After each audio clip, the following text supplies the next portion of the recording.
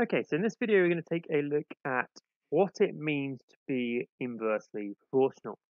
Um, so to start off with, we're going to try and establish what you currently think inversely proportional means.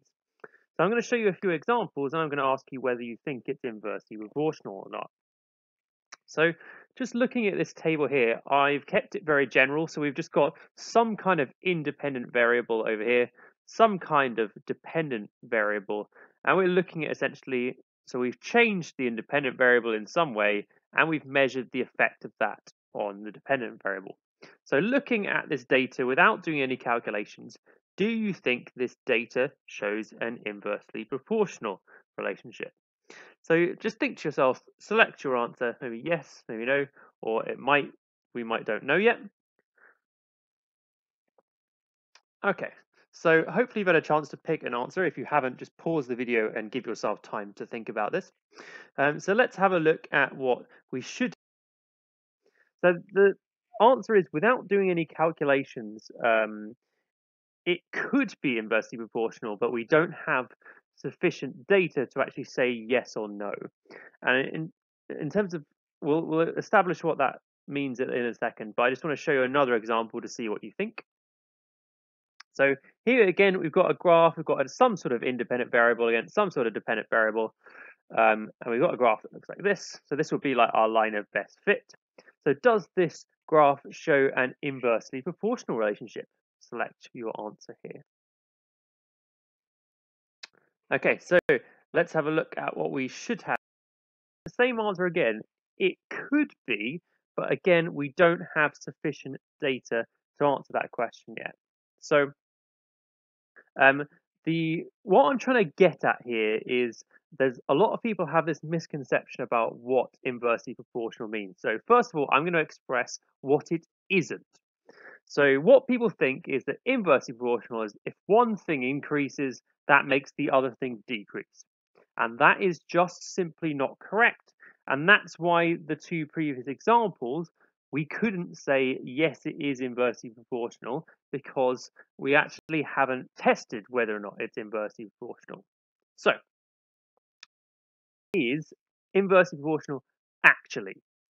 So it's when the product, so what product means you multiply, so the product of the coordinates, so every point on the graph has an x and y coordinate, so we're going to multiply the x and y coordinates. So the product of the coordinates of any point should give the same value. Okay.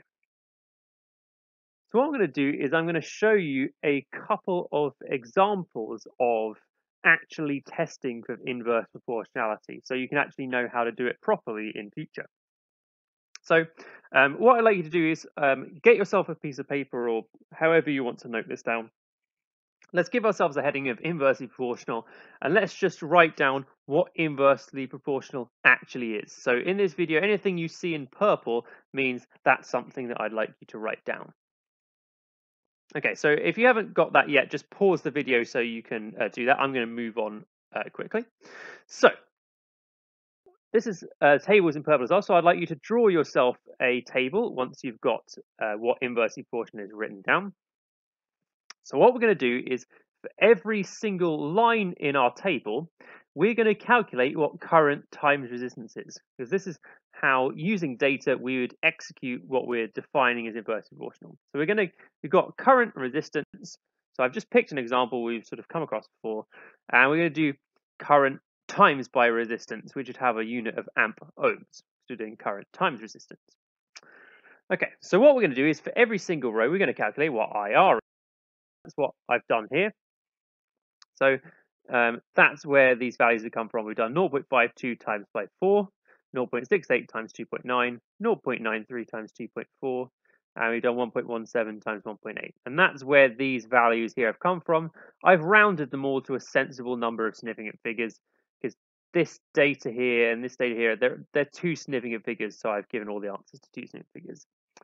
So looking at these values, current multiplied by resistance gives the same value every time. At least it, within experimental uncertainty it does. So we're not looking for exactly the same value every time. We're just looking for very similar values every time. So because we've got the similar values every time, I can now conclude that current and resistance are inversely proportional. So that's how we actually test using data we've collected whether current and resistance are inversely proportional. Okay, so that's all in purple, so make sure you've got a note of all of that. Pause it if you need to. I'm going to look at the same thing with a graph. So again, we're going to put the same test. So we've already said what inverse proportionality is. So what I'd like to do is just sketch yourself this graph here. Don't worry about being too precise about it. Um, we just want a record of this so we can refer to it. So we're going to do the same test on this graph. Now with a graph, we have an infinite number of points that we could pick on our line of best fit. Uh, but what I tend to do is try and pick as easy to read ones as I possibly can. The points that I picked are these ones. Um, I haven't been super precise about it, so I think my 1 1.5 is actually a bit too high. Maybe it should be 1 1.4. Um, but essentially, I've just picked four points that I felt were reasonably easy to read from my graph and that cover a decent amount of the graph's area. So these are the four points that I've picked off my graph, and I've got the x and the y coordinates. So then what we do is we go through the so I'm going to do the x coordinate times by the y coordinate. So that's what I'm doing. So 1 times 1.5, 2 times 1.5, and we get these values here. Now, here we've got more of a variation. So given that we're getting sort of 1.5s and 1.4s, it looks like it could be inversely proportional, but we're getting, for me, we've got a bit too much variation here with the 1.1 and 1.2. So I'm going to say this data is actually inconclusive. I don't think we can say for sure whether it is or isn't inversely proportional because because the product varies quite a bit. Um, so again, that's a reasonable conclusion to come to based on this data. Okay, so again, make sure you've got that noted down. What I'm going to get you to do is uh, work through this for yourself. An example of something completely different. We've got distance to the sun. So these are each are the planets. So we've got like Mercury first, and we've got um, Neptune last, if I remember my order correctly. Um, so we've got some distances to the sun, and these distances are quite long. So you'll see this is actually 10 to the 10. And we've got the surface temperature. So what I'd like you to do is pause the video and see if you can work out whether distance and surface temperature are inversely proportional. Okay, so I'm going to assume that you have paused the video and you've had a go at this for yourself. It is important that you try it on your own before I take you through it.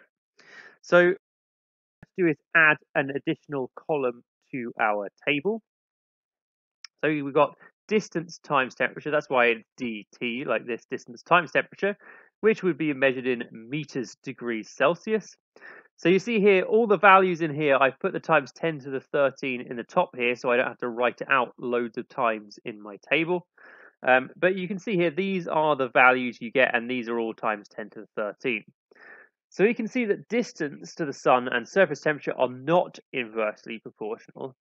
And we can see that because the product of temperature and distance gives completely different values every time. Sometimes they're negative, sometimes they're positive. The actual magnitude or number varies quite a lot as well. So I would say that's definitive evidence actually that those two things are not inversely proportional to one another. Um, when people often say that they are. So that, that's useful. We've collected evidence and we've shown that they're not inversely proportional.